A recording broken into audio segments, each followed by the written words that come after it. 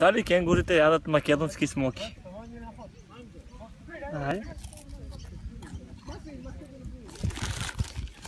Aí.